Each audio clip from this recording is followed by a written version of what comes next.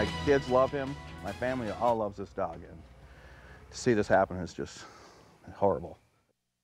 A pet owner's worst nightmare, your beloved companion shot numerous times, but it's who allegedly did the shooting and the circumstances surrounding it that have people talking.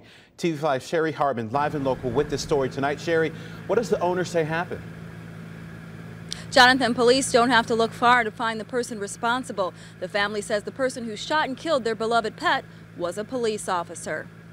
I heard a pop, pop, pop, pop, pop, and I was like, what is going on? So I stood up and looked out this window right here on my house, and I see the St. Louis Police Department standing over my dog that's all bloodied, laying right here. Brian Getzinger is describing the shocking scene he saw in his backyard around 3 this afternoon. His beloved golden retriever Scout had been shot. The cop came out, opened up my gate, the dog came out, he cornered him right over here, and the dog growled at him.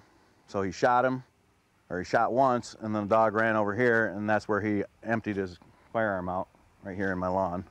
Lori Wansley was visiting her mother who lives across the street from the family. She says the dog was in her mother's yard for just a few minutes before it headed back home and ran into the officer. It wasn't provoked. It wasn't warranted. He just started shooting him. He just kept shooting him in the head. And I saw it like six or eight times, and, and I just, I just couldn't believe it. And I said, "What are you doing?" I said, "He's just a puppy." I just couldn't believe that let alone the police were in my yard shooting anything, let alone my dog, who is sweet. He's been our family pet for at least eight years. We've had him since he was a puppy. My daughter sleeps with him periodically, and he's just the nicest dog. He's never attacked anyone ever. So I just couldn't understand why someone would shoot him. Still alive, the dog was rushed to the vet, but later died. Getzinger says the family is devastated. They're, they're sad, you know. It's our, been our family pet for a long time, so.